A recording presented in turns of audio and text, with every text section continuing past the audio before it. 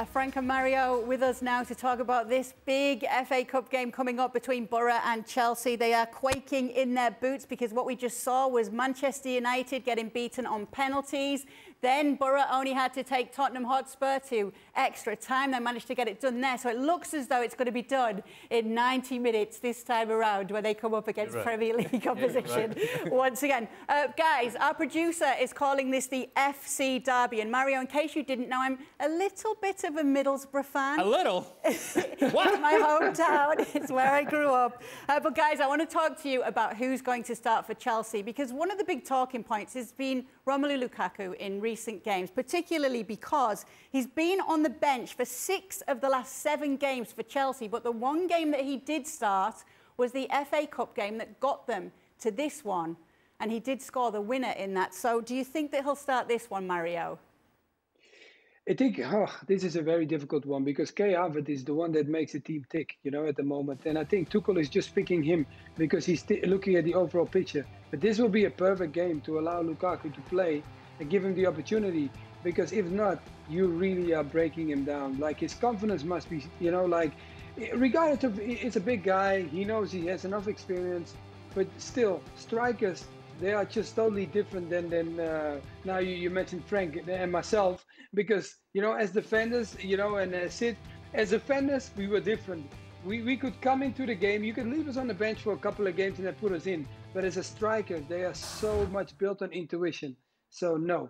Yeah I, I hope he's going to play because it will help his confidence. And if not uh, because you know if yes he's going to play he needs to take that opportunity because if not it's going to be a very tough journey for him. Do you think Tuchel should start him, Frank?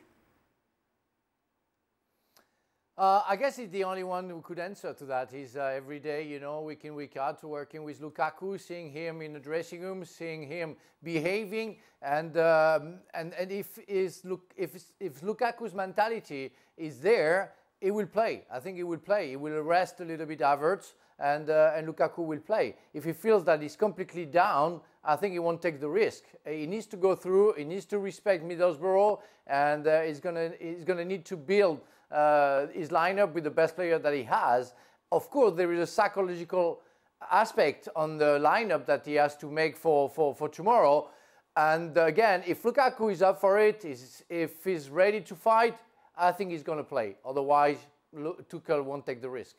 Mario, what do you think's gone wrong for him at Chelsea? I think it's it's the way Chelsea plays. You know, like um, Havertz is the one that is more uh, agile. The way he plays, he sees. Um, he's not as physical as Lukaku. Lukaku is a physical guy, and I think tactically he picked it up so much that he plays with his back to the goal so much. And Kai is always trying Havertz. He's always trying to face the opponent's goal because that is where his strength is. You know, coming from Germany, it was always a player that has to be was built on intelligence and seeing where his opportunities were. This is what he's taking now, and I think that's why Chelsea changed his way of playing. While Lukaku, I feel like he's so set in the tactic of Tuchel that he sometimes forgets his own game because his own game is actually facing the opponent's home. So that's why I'm waiting to see how he's going to pick up his chances now. Uh, these are the odds for it. Chelsea come into this as the away team, but they are the big favourites coming into it. Obviously, Middlesbrough Championship opposition, mm. Chelsea mm. Premier League. They are uh, David and Goliath clash, you could say. Stevie's laughing at me when I say that Boro might get that done in 19 minutes. Why? Well, the game will be done in 19. I don't know. I don't expect Boro to get it done, though. How do you see it going, Stevie? Yeah, I think Chelsea's got too much. I, I absolutely think Lukaku has to play because if, if Lukaku doesn't start in this game, as Mario said, you'll destroy him. And the truth is, the Champions League and making sure you're in the top four in the Premier League is more important to Tuchel and Chelsea and you can't keep throwing Havertz out there. You've got to look after him. So, unfortunately, even though Lukaku will start, I don't see your beloved Middlesbrough getting anything after 90 minutes. Thanks, Stevie. I thought that, you know, with them being a team that plays in red, you might have been in favour of them, seeing as though these guys are clearly going to go against me. Let's get your prediction then. Are you? No, what, have, you got a, have you got I was listening. Have you got a score prediction?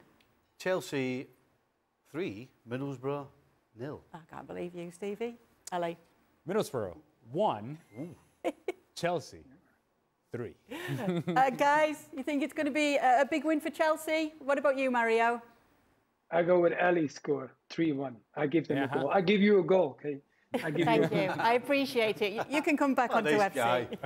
uh, Frank, Y- You know me, Kay. I play many times against Middlesbrough, and I'm, oh, I always won. And I, my heart will be completely with the Blues, so no chance for Middlesbrough. Lax TV, 3 0. Sorry about that. it's all right. Chris, don't Wil- Chris Wilder said I'll that answer. promotion's a priority anyway, so you know maybe I- the semi-final. I don't know. Do So you agree with I, us then? hey, I don't I don't know why anything. Frank had to remind us that he had, he had played Middlesbrough many times and won every time. Thank you, Frank. Oh, and he's a World Cup winner. Let's not forget. Just a to big hurt FA Kay, Cup just weekend to coming up Kay this weekend on. ESPN Plus. Uh, Boro against Chelsea on Saturday, and then on Sunday it's a triple header. Palace taking on Everton, Southampton against Man City, and Nottingham Forest against Liverpool. Well, thank you very much for watching ESPN FC on YouTube. For more sports highlights and analysis, be sure to download the ESPN app. And for live streaming, premium content, and of course, ESPN FC seven days a week, subscribe to ESPN Plus.